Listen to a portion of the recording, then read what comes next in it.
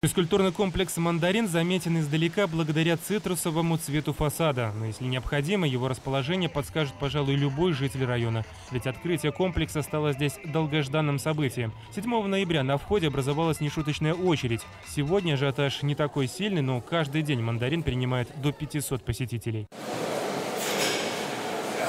Начинка комплекса весьма разнообразна и порадует даже самого требовательного клиента. Один из них – Кирилл Шимко. Рекордсмен книги рекордов Гиннесса высоко оценил оснащение самого большого по площади тренажерного зала в столице. Говорит, это лучшее место не только для занятий спортом. Кстати говоря, очень хорошее э, место для знакомств ребят и девушек. Это очень замечательно. Встречаться не на дискотеках, выпивая там какой-то алкоголь где-то, куря сигареты, а знакомившись тут, это здорово. Спустя пару минут белорусский силач демонстрирует президенту свои фирменные приемы. Без труда рвет сразу две колоды карт, а гвоздь превращает в стальное сердце. Получилось такое сердце. Я люблю Беларусь, как говорится. Вот приготовили сундучок, но я согнул еще гвозди, более эстетичные, собственно говоря. Вот они. Ну, это такие. Да, эти. Да. Это в музее мы оставим. Во Дворце независимости будут свои фотографии. Спасибо, очень приятно. Александр Лукашенко познакомился с минчанкой Александрой Бурыкиной, которая, несмотря на кажущуюся миниатюрность, стала чемпионкой Европы по пауэрлифтингу, установив в Мадриде два рекорда. Достижение отметил даже знаменитый Арнольд Шварценеггер, который лично поздравил белоруску с победой. В обмен на рукопожатие Саша вручила железному Арни майку с изображением президента. Легендарный терминатор отметил, что знает Александр Лукашенко как сильного политика и вообще белорусы очень сильные люди. Можно вам подарок сделать? Подарок? Коробка где-то здесь, вот коробка. И подарил ее Арнольду Шварценеггеру. Боже, это я что ли? Это вся Европа видела. Первый раз вижу майку со, своим, со своим фейсом. Не секрет, Александр Лукашенко любит спорт, а потому с удовольствием посетил, пожалуй, все залы фабрики здоровья. Так емко президент обозначил суть комплекса. Вот помещение для кроссфита, то есть тренировка различных групп мышц с высокой интенсивностью. Три, два, один. Аккуратно убираем скорость. Отдыхаем. Увеличиваем Молодцы. сопротивление. Если бы у нас велосипедисты так тренировались, межсезонки, они постоянно чемпионами мира были. Также для мужчин залы бокса и единоборств. А женщины могут заняться фитнесом и пилатесом. Прямо в тренажерном зале президент дает поручения. Подобные спорткомплексы будут строиться впредь, а значит необходимо производить собственные тренажеры. Мы очень много будем строить таких залов. Они пользуются спросом. Вот распиши, пусть приходят, копируют, что угодно делают. И пусть начинают штамповать дом. Знаешь, где вот тебе два станка, вот тебе два тренажера, вот тебе три тренажера. Распиши, если нужно, чтобы я подключился, подключу.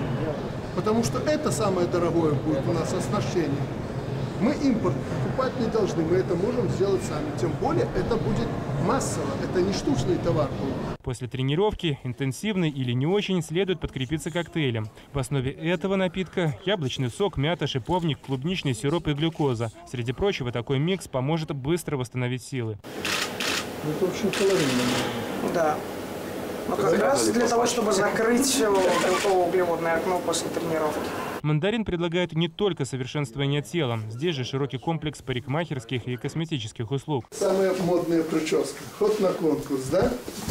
Как вас зовут? Андрей. Андрюха. Ты смотри, а?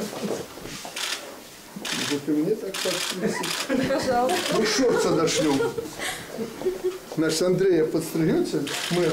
Ну все, сегодня по телевизору все Андрюха тебя увидит в новой прическе. Ну, девушка наверное, поэтому она тебя увидит. Аквазон, очевидно, самое популярное место комплекса. За два часа пребывания попросят 180 тысяч. Но зато к услугам посетителей несколько бассейнов, четыре разные бани. От русской до средиземноморской. Джакузи, ледяная купель. Атмосферу тропической расслабленности дополняют лагуны с золотыми рыбками и мини-сад с экзотическими птицами. там золотые рыбки и тоже попугаи. То есть, что это дает? Когда люди отдыхают ну, во время э, плавания, там, можно полежать на шезлонгах, где-то какой-то звук воды, где-то птица крикнула, то есть можно порелаксировать, получить все расслабление. Для жителей заводского района ценность этого объекта очевидна. Они получают в распоряжение современный комплекс, куда можно прийти, отдохнуть, позаниматься, а главное приобщиться к здоровому образу жизни. Для города же это позитивный опыт создания комфортной среды в различных районах столицы. Отсюда и главная задача – разработать типовой проект. Столичный мэр приводит такие данные. В Минске, помимо «Мандарина», еще 9 крупных физкультурно-оздоровительных комплексов. Некоторые, как трактор, обновлены, другие построены с нуля, как аквапарк Лебяжий или центр фристайла. Но столице необходимо больше, ведь спрос на занятия спортом у минчан значительно вырос. Если три года назад физкультурой регулярно занимался лишь каждый двадцатый, то сегодня уже каждый четвертый. И полная загрузка бассейнов статистику подтверждает. При всех э, прямых линиях, при обращениях э, люди, жители Минска, как бы жалуются на отсутствие плавательных бассейнов. И мы видим, это основная задача, которую необходимо решать. И мы считаем, в первом приближении мы видим, что необходимо построить 13 простых бассейнов, где будет чаша для обучения плавания для взрослых и чаша для обучения плавания для детей. Простые, 30 одну площадку мы уже выбрали в Московском районе, которая уже мы готовы к строительству, и 12 перспективных. Люди должны четко понимать, что мы можем сделать все, что они хотят, но за это нужно будет заплатить, за услугу. Э, бесплатно за счет бюджета у нас достаточно. Государственных форм собственности у нас этих объектов предостаточно. Э, нам они не нужны. Поэтому надо понимать, что такие вот дворцы, которые вы строите, это отдельный разговор, они немало стоят. И услуга здесь будет стоить определенные деньги. Второе. Мы, конечно, еще придерживаемся этих советских э, принципов, советских норм э, в создании подобных центров. Да, республиканского уровня, местного уровня, там, где мы готовим профессиональных спортсменов, где на солидном уровне их надо готовить, они, наверное, должны быть э, такие дворцы. У нас их хватает. Больше такой дороговизны быть не должно. Нам нужны обычные, абсолютно дешевые, если это плавательный бассейн, это чаша, не надо упрощаться. Половина 50 метров, половина 25 метров. Все равно, 50 метров это два бассейна считай. Поэтому и такие, и такие должны быть. Но э, кроме чаши, там должно быть все на нужном уровне. По ширине смотрите сами. Но все, что сверху, это должно быть настолько функционально и просто, абсолютно дешево, ну, я даже затрудняюсь это сказать. Поэтому вы должны мне в ближайшее время подготовить такой проект бассейна, еще какого-то комплекса, абсолютно дешевого.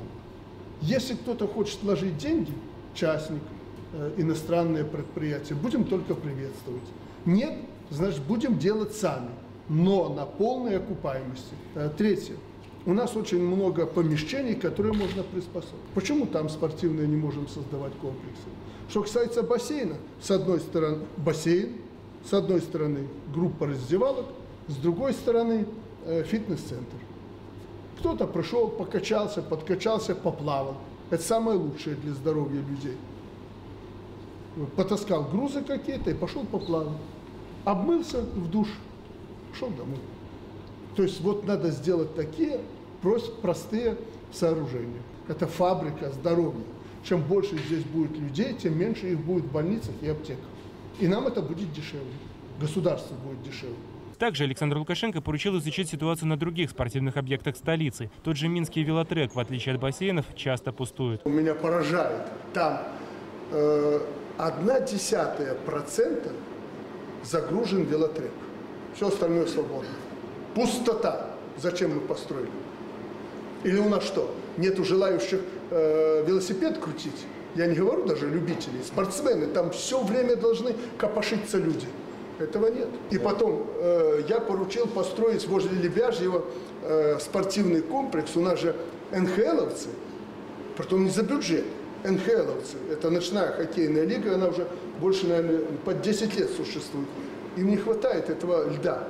Ну, ну вы же не бедные, возьмите, постройте, дайте место. Вот вам самое удобное место. Тереблю два года уже не могут начать строительство. Не можете приступить. Хороший проект. Надо ему жилье построить, устроить для того, чтобы компенсировать затраты. Поэтому надо оперативнее, без всякого бюрократизма. Принято решение, отдайте людям э, возможность это строить, чтобы никто не мешал. Тем более денег же не просят. Красота, здоровье, спорт вошли в моду и в регионах. К примеру, физкультурно-оздоровительный центр в Быхове стал настоящим магнитом для горожан. Его открыли два года назад после реконструкции. До этого 15 лет объект был на замке. Теперь здесь учатся плавать дети со всего района. 12-летний Егор не пропускает ни одной тренировки и со спортом связывает планы на будущее. Готовимся к соревнованиям в Могилеве э, в конце ноября. Э, Хочу занять призовое место. Родители и даже бабушки и дедушки юных пловцов тоже объединились в спортивные команды. Нас в поликлинике не встретишь, заверяют подруги-пенсионерки. Зато в бассейне узнают все тренеры. Три раза в неделю получается. Ходим строго.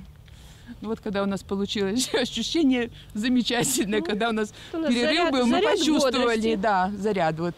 И бодрости, Общение. и общение, и, и вообще, Здоровье, и все это нам здоровье. дает. А уже к Новому году быховчан ждет очередной подарок. Откроется просторный спортзал, где можно будет играть в мини-футбол, волейбол, заниматься борьбой и аэробикой. Безусловно, ждут люди. И сказать, что такой объект нужен райцентру, э, так как это является основной базой для проведения спортивно-массовых и оздоровительных мероприятий. Впрочем, заниматься здоровьем можно не только под крышей и не только за деньги. Столичная мэрия нацелена развивать стрит-воркаут. На брусьях и перекладинах вполне можно подкачать пресс и другие мышцы. К тому же в городе станет больше велодорожек и антивандальных тренажерных комплексов под открытым небом. Общая цель – создать спортивную сеть шаговой доступности. Александр Злобин, Елена Кукшинская, ОНТ.